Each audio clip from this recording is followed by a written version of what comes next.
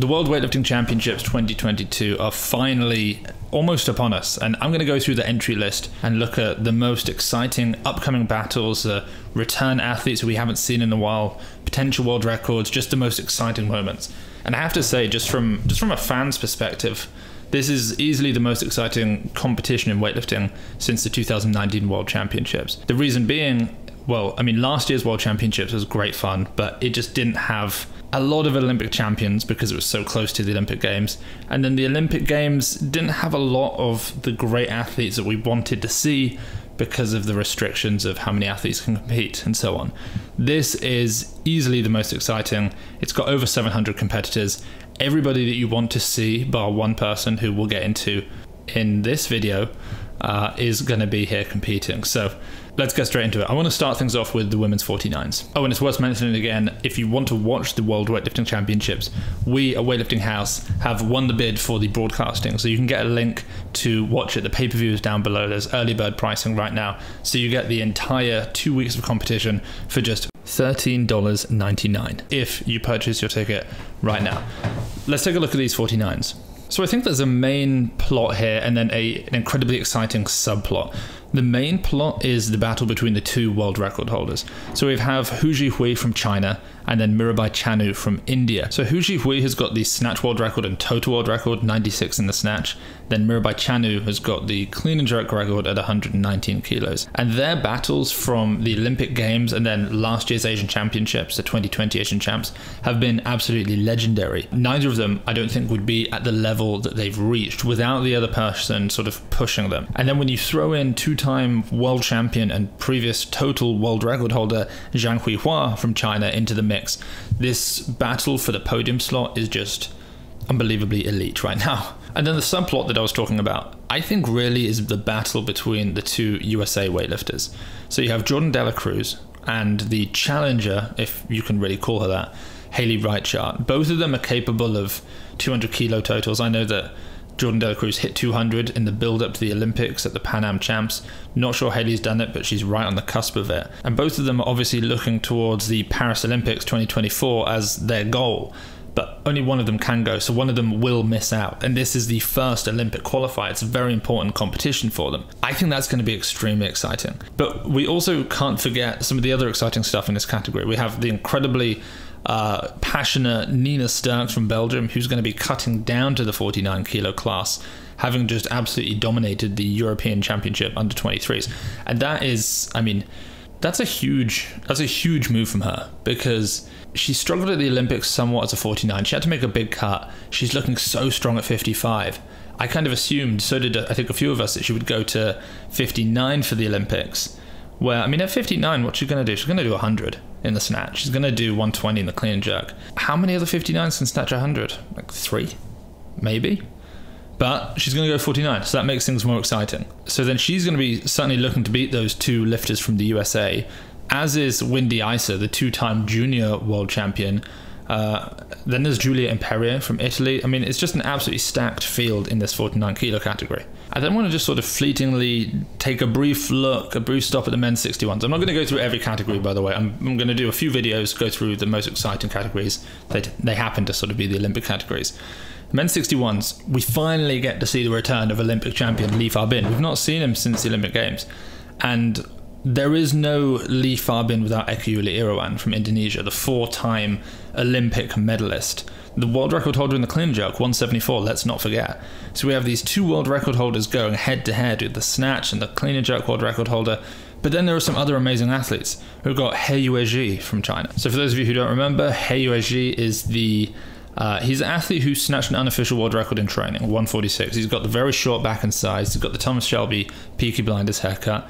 And then we've got, you know, Sergio Massidda, Rico Saputra, and a lot of, I mean, what's exciting is we see the return of Team Japan. So in this category, it's Yoichi Takazu, but later on, we've got Mitsunori Konai, uh, a lot of really exciting athletes here. Of course, I should mention because uh, a lot of you listening are probably from the USA, Hampton Morris will also be in this category. He's a junior world record holder. What's amazing is that he's in 19th in terms of his entry total.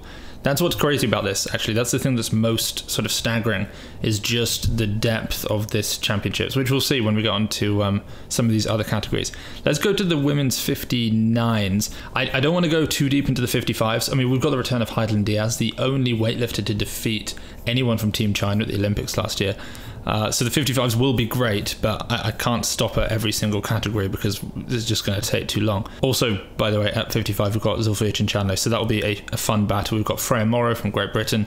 Uh, but let's let's go to 59. Okay, so here we have probably the most well-known female weightlifter in the world, maybe Guo Chen from Taipei. She's put in 230 kilos as her entry total, and obviously she is the weightlifter that you kind of have to assume is going to win. I mean, she's a five-time world champion. Uh, 2013 was her first, and then she's won the last four that she's competed in 17, 18, 19, and 21, which is crazy. She's the Olympic champion as well. She's a world record holder in the snatch, clean, jerk, and total 110, 140, and then I want to say it's 246. Let's check that. 247. My bad. From uh, oh, from 2021. Okay, I thought it was from 2019. I forgot that she beat that but I don't think things are going to be necessarily as easy as we thought. I mean, she's in shape. She posted a 170 back squat triple, I think, the other day. Uh, but there are a couple of Chinese weightlifters in this category. So we have Luo Xiaomin, who's also put in 230, but then Luo Shifang has put in 240 as her entry total. Now, of course, these entry totals don't mean a tremendous amount. They can actually change at this point uh, before the final sort of verification of entries. But even so, to some degree, when you put in a big entry total, you're making a statement. Like we'll see later on with Karlos Nasar, he's in 400 kilos for his entry total. That's a bit of a statement. Uh, and I wonder if Luo Shifang has done that too. So some of you may remember a relatively viral weightlifting video about a year ago of Luo Shifang, the 59 kilo lifter, jerking 150 kilos from the blocks. It was part of one of the, you know, it was like a news show for CCTV for, for Team China building up to a, a competition that they were in. I can't remember what it was. Uh, and yeah, 150, that is 10 kilos over the world record. She also competed and she, I think this is, well, exactly two years ago, she went 103, 130. She took all three gold medals at Chinese nationals. So she's definitely a, a real contender here. But the, the depth in this category just keeps kind of going on. We have Dora Tchakounté from France, who lifted tremendously well at the European Championships. We have Olympic champion, uh, Commonwealth Games champion Maude Charron from Canada, who has dropped down to this 59 kilo category as her new Olympic category. Don't forget as well, if you're in Canada, we are broadcasting to you. We've got USA, Canada, Great Britain, Belgium, Netherlands, Finland, Sweden, Denmark, Norway, and if you're in other countries where you assumed you would have us, just stay tuned because you may well do. We're working on it. Then there's Kamila Konotop, who, I mean, I think she snatched 105 the other day, the Ukrainian at the under 23s. So she's fiendishly good. Uh, Lucrezia Magistris, Mikiko Ando. I mean, the list of, of athletes here just goes on and on. But I think what I'd really like to do now is just take a look at the men's 73s because it's um, it's on another level in terms of depth. In fact, a lot of the big names that you know may well not be in the A session. Let me just give you an idea of someone who might not be in the A session. Mirko Zanni, Mitsunori Konai, Erkand Qerimaj, Ritvars Suharevs, Kaki Asanidze, Max Lang. These athletes probably won't make the A session. So in the A session, we have in fact, it's it's hard for me to. I don't almost don't know who to start with because I don't know what's most exciting. Okay, so let's just. We have the two Indonesian athletes. So we have Rizki Juniansyah, who underperformed at the Asian Champs, but we know is primed to at least be pushing towards world records in the clean and jerk. And then we have, he's also the two time junior world champion. He's done 196 in competition, he's done over 200 in training. Then we have his teammate, the world champion from last year in this category, Rahmat Erwin Abdullah, who competed as an 81, injured. I don't know why I do that. He was injured. I don't know. Ignore that. Injured, and um, only weighing 75.4 kilos, and he clean and jerked 198. So my prediction here is um, we are going to see a new world record in the clean and jerk uh, by Rahmat Erwin Abdullah.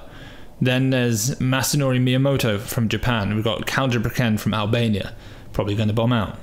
Um, then we have uh, Andrea Bozidar from Bulgaria, who you know he's a he's a mid 190s kind of guy when he's you know in good shape. He can snatch 160.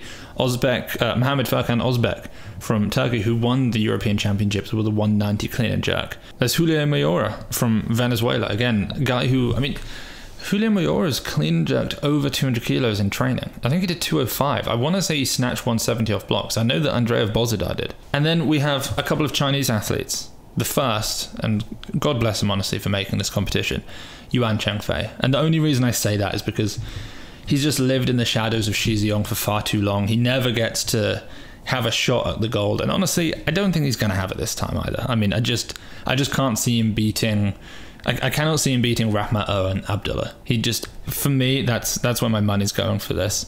Uh, but then we also have Wei Yinting. So Wei Yinting at a provincial World Cup in 2019 as a 73, he went 162, 189.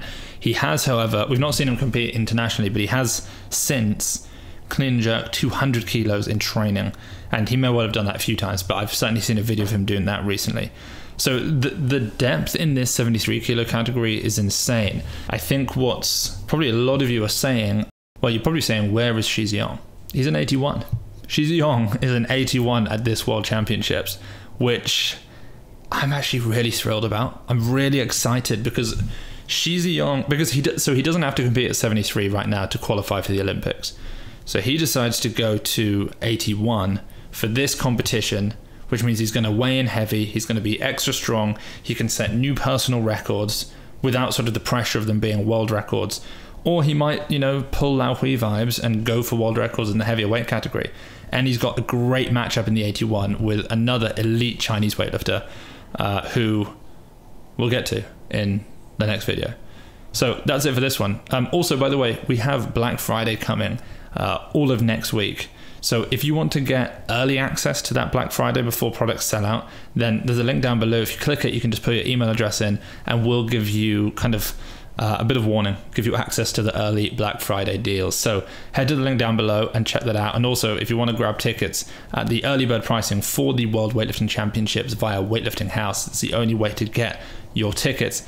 Then uh, head to the link down below. Also, don't forget to like and subscribe. I'll see you on the next one.